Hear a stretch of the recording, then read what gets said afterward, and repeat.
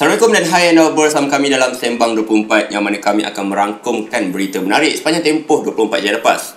Dan anda bersama saya Arif Ismail Dan saya Fiz Harudin dan kita akan mulakan dengan berita pertama iaitu IDC telah mengeluarkan pegangan saham year over year Hmm. dan kita dapat lihat Samsung masih lagi kekal di tempat pertama, Okey. Apple di tempat kedua, Hmm. uh, Huawei di tempat ketiga, Hmm. Xiaomi tempat keempat dan akhir sekali Oppo di tempat kelima. Aha Tapi dari segi statistik ini kita melihat ada penurunan dari segi jualan untuk uh, Samsung dan Apple Baik. yang mana masing-masing menunjukkan penurunan sebanyak negatif 8.0 dan Apple menunjukkan penurunan sebanyak negatif 3.2%. Mhm. Tetapi untuk Huawei dan Xiaomi uh, kedua jenama besar ini telah meningkat sebanyak 30% banyak. Mhm. Maknanya year over year, maknanya 2017 ke 2018 mereka telah uh, menunjukkan peningkatan sebanyak 30%. Jadi bagaimanakah kesemua brand ini boleh ada penurunan dan kenaikan?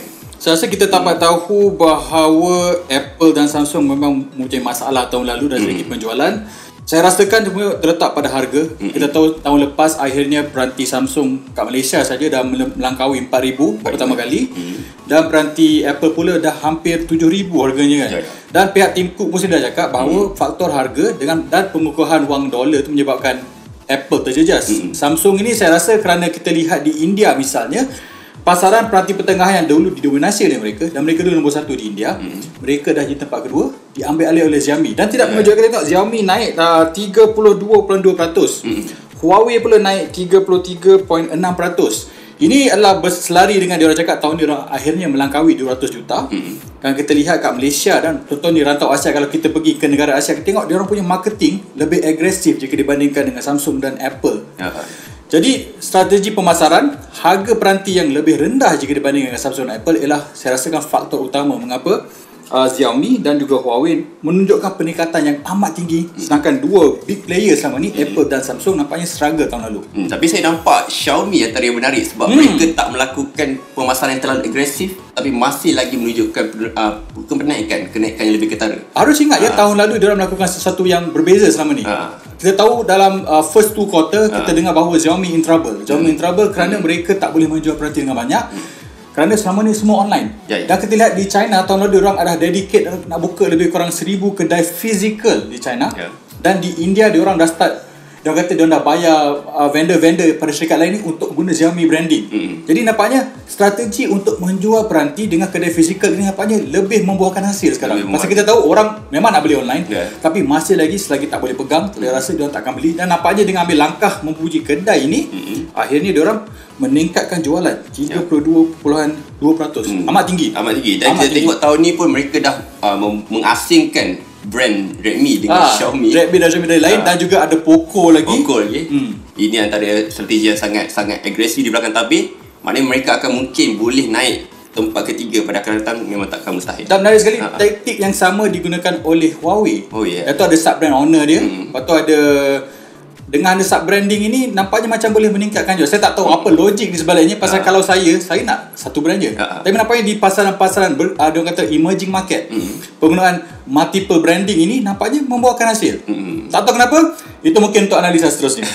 Tapi kita tengok Oppo masih lagi maintain Kira masih kekal dengan kedudukan yang memang tak terlampau hmm. uh, jatuh, tak ternaik sebab dia mereka menunjukkan kenaikan sebanyak 1.3% saja. Hmm. Jadi kita nampak Oppo walaupun pemasaran agresif apa semua tapi nampaknya pengguna masih lagi lebih kurang pada tahun lalu. Kita tahu yang uh, Oppo ni kekuatan mereka ialah di negara asal mereka China. Hmm. Mm. Diorang adalah top 3 di sana. Mm-hmm. Dan mungkin sekarang dah mungkin kita dah agak akan ada berlaku uh, penyusutan Mm-mm. slowing down of sale tahun lalu. Ya. Dan sebenarnya walaupun 1.9 nampak kecil tapi di- diorang tak the negatif tu Ah. it's still boleh dianggap sebagai positif bagi Pak Oppo. Mm-mm. Mungkin strategi tahun ni mungkin ada diorang dah ada Realme sekarang Ada kan. Realme, ya. Ah mungkin membuahkan hasil tahun 2019. Pasal kita tahu sekarang sub branding berguna dan berjaya di Asia.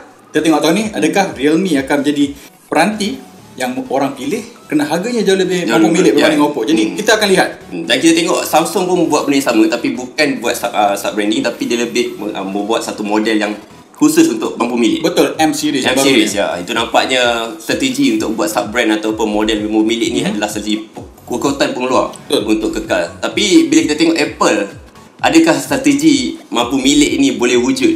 Ha. Kalau anda anggap XR sebagai mampu milik, Ah, saya tak merasakan lima pemilik. tapi itulah saya rasa Ah, ah. Apple memang for the longest time dia orang menganggap diri mereka sebagai sebuah jenama mewah, sebagai Hmm. dia kata luxury brand.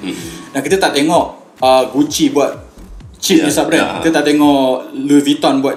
Jadi dia orang menganggap diri mereka special. Hmm. Dan dengan tak buat benda tu pun mereka dapat nombor 2. Rasanya kita akan lihat adakah pengurangan, pengurangan harga yang dijanjikan oleh pihak Tim Cook Mm-mm. akan berjaya untuk this quarter. Ah, Kita tengah tengok dulu. Kita tengah tengok lihat.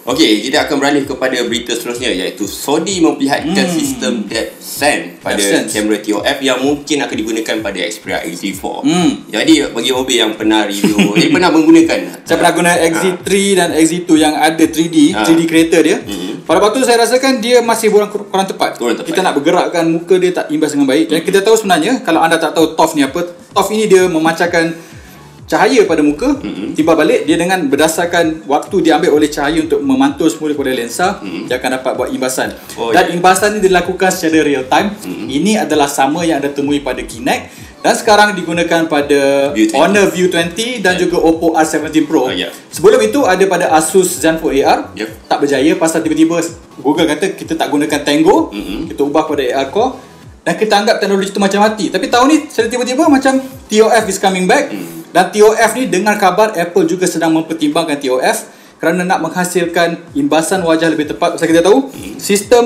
uh, Face ID menggunakan dot. Orang kata dot tu tak berapa tepat lagi pasal Ya. hanya titik. Mhm. Dengan TOF keseluruhan tekstur muka ni uh, lanskap muka akan diambil. Hmm. Jadi security uh, on paper sepatutnya lebih baik dengan menggunakan kamera TOF. Hmm, dan menariknya penggunaan TOF ni pun boleh digunakan pada realiti beberapa antara Hmm. hmm. AR mana ramai yang apa pihak dah mula menaikkan AR ni kembali terutamanya Apple sendiri. Apple sendiri. Ah, dah banyak inisiatif. Uh, iklan Samsung yang tertiris pun dah tunjuk AR Hmm. dan DevSense tu tunjuk benda yang sama di mana kita bermain dalam dunia sebenar dengan objek 3 dimensi depan kita. Jadi adakah akhirnya teknologi uh, AR yang selama orang anggap sebagai gimmick akan ada aplikasi dunia sebenar dan digunakan lebih meluas?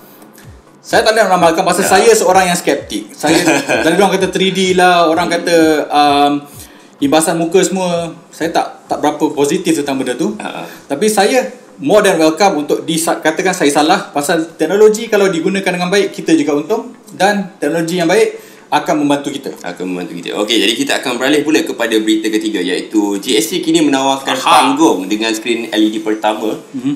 dengan 3D. 3D.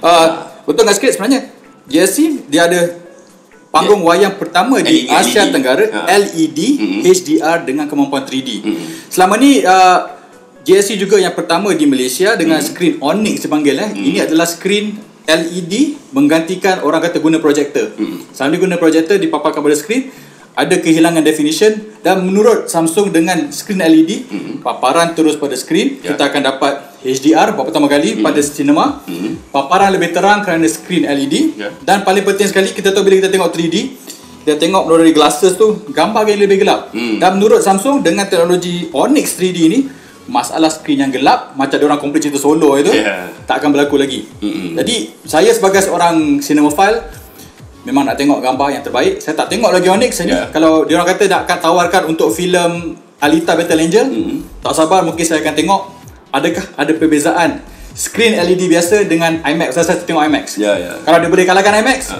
Onyx 3D all the way Tapi kita masih lagi belum tahu dari segi bila ada uh, tayang, tayang, dia punya tayangan akan keluar. Ah, tak silap saya start, har- ah, start minggu ni. Start minggu ni. Dia akan ada battle Alita Battle Angel Ah. tetapi hanya di GSC Mid Valley pasal Hmm. itu satu-satunya yang ada skrin Onyx sekarang Hmm. untuk GSC. Hmm. Tapi Jadi- MBO ada juga tapi tahu MBO yang dekat Atria tu tak ada lagi 3D. Uh, Jadi bagi anda yang nak try ataupun nak cuba untuk melihat 3D, uh, screen 3D Onyx, Onyx 3D dengan, dengan harga yang macam mampu milik ataupun boleh katakan skrin yang memang cantik yang mempunyai tontonan HDR mungkin boleh pergi ke Mid Valley Mhm. dengan menonton tayangan Alita Battle Angel pada 5 Februari nanti. Yap. Okey, jadi kita akan beralih pula kepada berita terakhir dan uh, berita ni agak mengejutkan juga kita tengok rupanya pengguna Malaysia menghabiskan masa purata sekitar 8 jam sehari 8 untuk jam melayari sehari. internet. Mhm. Nampaknya orang Malaysia memang kuat betul main internet. Uh, tidak mengejutkan Ah. pasal sebelum ni pun dah ada beberapa data mengatakan dari segi penggunaan media sosial kita punya region Asia Tenggara bukan Asia ya, Asia Tenggara yang paling kuat menggunakan Hmm. media sosial Uh, dan kat Malaysia 8 jam lebih dengan purata dunia sebenarnya 6 jam lebih. Jadi Ya. kita memang orang kata memang gila internet. Gila internet. Jadi dengan kegilaan internet ni masih lagi tak tahu walaupun dengan internet yang bukan terbaik di rantau hmm. kita dah 8 jam hmm. saya tak boleh bayangkan kalau ada 5G ke nanti Ya. bila ada akses kepada internet lebih lama mungkin masa yang diambil untuk menggunakan peranti akan jadi lagi lama. Hmm. Tapi dalam uh, statistik ni menunjukkan yang mereka orang Malaysia sendiri habiskan masa 2 jam 58 minit untuk social media. Mhm. Maknanya selebihnya mungkin digunakan untuk kegunaan uh, ride hailing, untuk kegunaan Mhm. perbankan dan rasa paling banyak ialah tontonan video. Betul. uh, melalui Netflix atau YouTube dan kita boleh tengok dari sini banyak dia punya peningkatan Peningkatan. ha, dia punya masa tontonan dia sebab kita tengok dekat social, uh, purata-purata dunia 6 jam 42 minit saja. Tapi dekat Malaysia ni dah melebihi 2 jam. Maknanya terlampau kuat orang Malaysia ni nak tengok internet. Ok jadi itu adalah rangkuman daripada kami untuk Sembang 24 hari ini Mhm. jadi bagi anda yang mempunyai sebarang cadangan ataupun sebarang soalan anda boleh kemukakan kepada kami melalui ruang komen di bawah ini. Dari sekian sahaja daripada saya Arif Ismail. Dan saya Fisarudin. kita jumpa lagi untuk video seterusnya